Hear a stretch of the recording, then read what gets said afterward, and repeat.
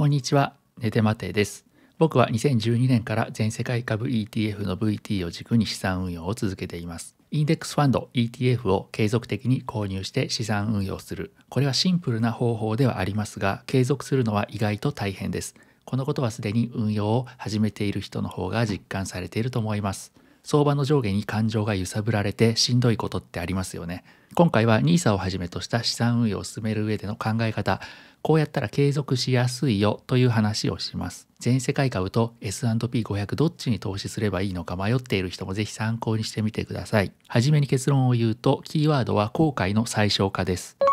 ここであなたに質問をします。ある朝あなたは会社に行く前に天気予報を見ました。今は雨が降っていませんが、夕方以降に雨が降る確率が50%あるそうです。あなたは会社に傘を持っていきますか？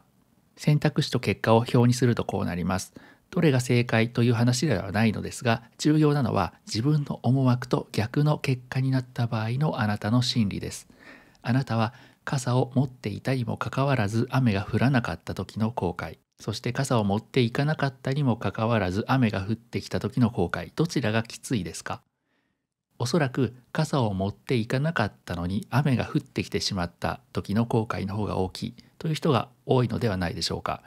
これを全世界株と S&P500 に当てはめるとこうなります。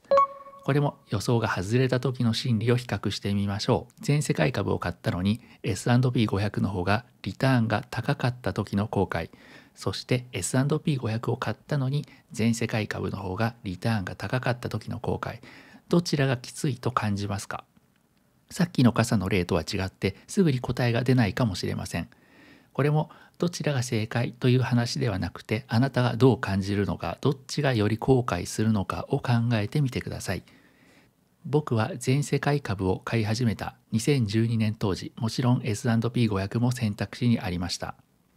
でも S&P500 を買って全世界株の方がリターンが高かったケースの後悔を考えると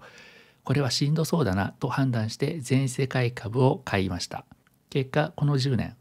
全世界株と S&P500 どっちがリターンが高かったでしょうか。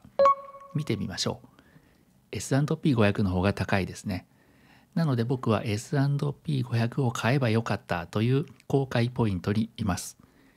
大事なのはこうなる可能性があるよねと分かっていて僕は VT を買っていたということです。資産運用をするときに全世界株と S&P500 この先どっちが勝つだろう絶対に勝つ方に投資をしたいと考えている人は要注意です。もしリターンが低い方に投資してしまった場合ホールドしていられなくなります。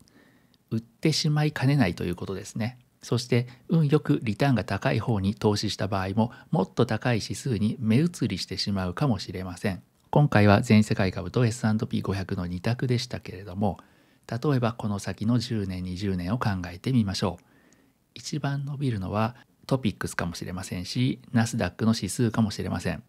もしかしたら新興国インデックスかもしれません。厳しい言い方になってしまいますけれども一着を当てないと満足できないって思ってる人はインデックス投資には向いていないんじゃないかなと僕は思います。でもこの動画にたどり着いてここまで見てくださっているあなたは10年20年と資産運用を継続すればそれなりのリターンがあると予想して期待しているんだと思います。10年20年後に資産運用をしておけばよかったという後悔はしたくないですよね。きっと資産運用をしておけばよかったという後悔はとっても大きなものだと思います。なのであまり他人と比較せずに後悔を最小化する選択肢を取り続けるこれがいいんじゃないかなと思って今回の動画を作りましたいかがだったでしょうか？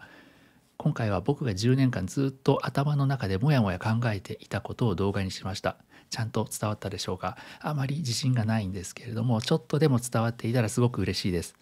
この動画の感想疑問質問そしてご批判何でも気兼ねなくコメントいただけると嬉しいです。では最後までご覧いただき本当にありがとうございました。